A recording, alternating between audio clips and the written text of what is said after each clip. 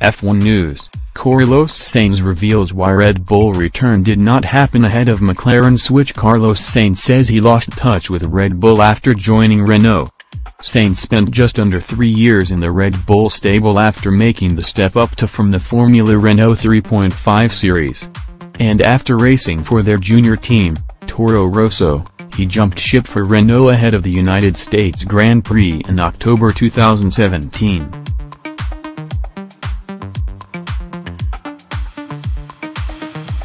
Sainz was linked with a return to the Red Bull fold this year with Daniel Ricciardo on his way to Renault. However, the seat alongside Max Verstappen went to Toro Rosso's Pierre Gasly instead. Sainz has now lifted the lid on why he did not make a comeback with Red Bull as he gears up to replace at McLaren.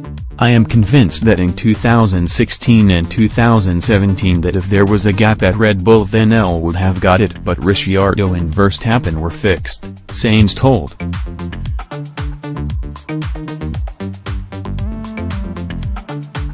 Then L left for Renault, and had a very good year, but inevitably L lost a bit of touch and Red Bull didn't have as much information, so they went for the safe option with Gasly, which I'll fully back because he is a great driver and deserves the Red Bull chance. Sainz's experience has not soured his memories of his time with Red Bull. And he says he was grateful for the stability they offered him with Toro Rosso.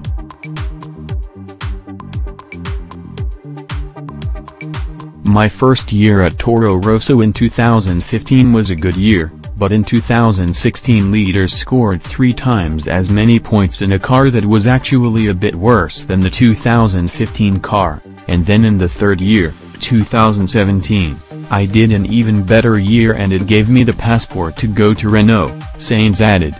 Just by having a second year in the same team, in the same car, with the same engine, same mechanics, it allows you to find the little tricks of the car, the differences that mean you were able to extract the final two tenths of a second.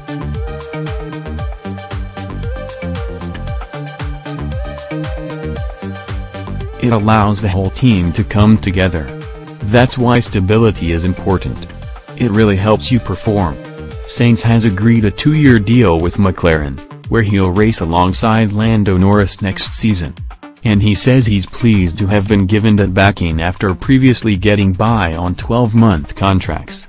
A driver needs confidence and if a team gives you two years it means they really trust you and believe in you, Sainz said.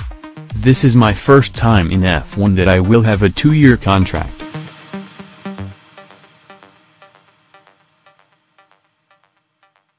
It gives me stability and it gives me confidence. McLaren have taken just one top 5 finish this season and sit 6th in the constructors' standings. But Sainz believes the Woking-based team have the right mentality going forwards. The team have had a tough year and they have learned from it, Sainz said. There has been the clear reaction of a team which wants to get back to winning ways.